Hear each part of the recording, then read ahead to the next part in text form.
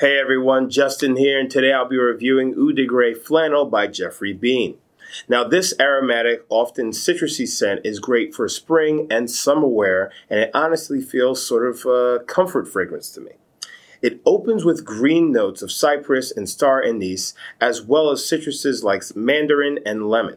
Caraway and cedar also appear here, and the middle notes and base notes continue that green woody theme well into the dry down. Well, that's all for today. Hope you enjoyed this review. Don't forget to follow Fragrance X on Facebook, Instagram, Twitter, and Snapchat, and please subscribe to our YouTube channel.